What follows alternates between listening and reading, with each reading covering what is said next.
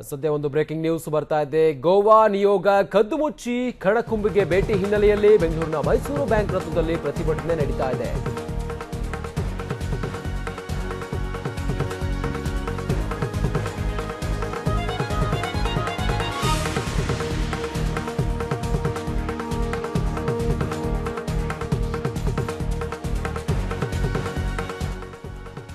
ಗೋವಾ ನಿಯೋಗ ಕದುಮುಚ್ಚಿ ಕಣಕುಂಬಿಗೆ ಭೇಟಿ ಹಿನ್ನೆಲೆಯಲ್ಲಿ ಬೆಂಗಳೂರಿನ ಮೈಸೂರು ಬ್ಯಾಂಕ್ ವೃತ್ತದಲ್ಲಿ ಪ್ರತಿಭಟನೆಯನ್ನ ನಡೆಸಲಾಗ್ತಾ ಇದೆ. ಕನ್ನಡ ಚಳುವಳಿಯ ನಾಯಕರಾಗಿರುವಂತಹ ವಾಟಾಳ್ ನಾಗರಾಜ್ ನೇತೃತ್ವದಲ್ಲಿ ಪ್ರತಿಭಟನೆ ಆಗ್ತಾ ಇದೆ. ಗೋವಾ ಸಭಾಪತಿ ಮೈಕಲ್ ಲೋಭೋ ವಿರುದ್ಧ ಆಕ್ರೋಶ ಕೂಡ ವ್ಯಕ್ತವಾಗ್ತಾ ಇದೆ.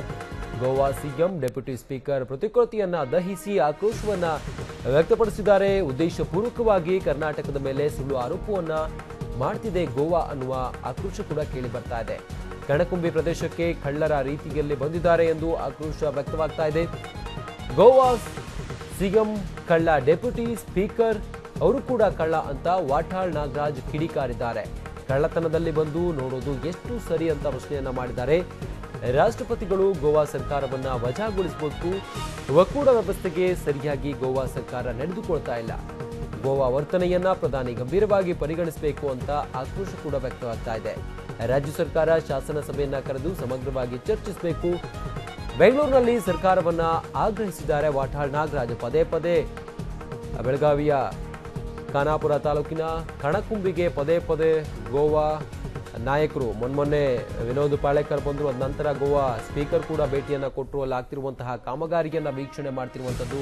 ಹೇಳಿ ಕೇಳಿ ಯಾವುದೇ ಒಂದು ಸೂಚನೆಯನ್ನು ಕೊಡದೆ, ನಾವು ಬರ್ತಿರುವಂತಹ ಯಾವುದೇ ಒಂದು ಸೂಚನೆಯನ್ನು ಕೊಡದೆ ಕಳ್ಳತನದಿಂದ ಬರೋ ವಿಚಾರವಾಗಿ ಸಾಕಷ್ಟು ವಿರೋಧ ಕೂಡ ವ್ಯಕ್ತವಾಗ್ತಾ ಇದೆ. ಆ ನಿಟ್ಟಿನಲ್ಲಿ ಬೆಂಗಳೂರಿನ ಮೈಸೂರು ಬ್ಯಾಂಕ್ ವೃತ್ತದಲ್ಲಿ ಪ್ರತಿಭಟನೆ ಕೂಡ ನಡೆಸಲಾಯಿತು. ಕನ್ನಡ ಚಳುವಳಿಯ ಹೋರಾಟಗಳ ಹೋರಾಟಗಾರರಾಗಿರುವಂತಹ ವಾಟಾಳ್ ನಾಗರಾಜ್ ಅವರ ನೇತೃತ್ವದಲ್ಲಿ ಪ್ರತಿಭಟನೆ ಕೂಡ ನಡೆಯಿತು ಗೋವಾ ಸಭಾಪತಿ ಹಾಗೆ ಗೋವಾ ಸಿಎಂ ಅವರ ಪ್ರತಿಕೃತಿಯನ್ನ ದಹಿಸಿ ತಮ್ಮ ಆಕ್ರೋಶವನ್ನು ವ್ಯಕ್ತಪಡಿಸಿದ್ರು. ಮೊನ್ಮೊನ್ನೆ ದೊಡ್ಡ ಮಟ್ಟದಲ್ಲಿ ಕರ್ನಾಟಕ ಬಂದ್ ಅನ್ನ ಮಾಡಲಾಗಿತ್ತು. ಕರ್ನಾಟಕ ಬಂದ್ ಮಾಡುವ ಮೂಲಕ ಸಾಕಷ್ಟು ಭಾಗಗಳಲ್ಲಿ ಸಾಕಷ್ಟು ಜಿಲ್ಲೆಗಳಲ್ಲೂ ಕೂಡ ಯಶಸ್ವಿಯಾಗಿತ್ತು. ಕರ್ನಾಟಕ ಬಂದ್ ಅದಾದ ನಂತರ ಆಗಿರುವಂಥ ಬೆಳವಣಿಗೆ, ಗೋವಾ ಸ್ಪೀಕರ್ ಭೇಟಿಯನ್ನು ಕೊಟ್ಟಿದ್ದು ಕಣಕುಂಬಿಗೆ. ಇದರ ವಿಚಾರವಾಗಿ ಇವತ್ತು ಕೂಡ ಬೆಂಗಳೂರಿನಲ್ಲಿ ಪ್ರತಿಭಟನೆಯ ಕಾವು ಜೋರಾಗಿದೆ.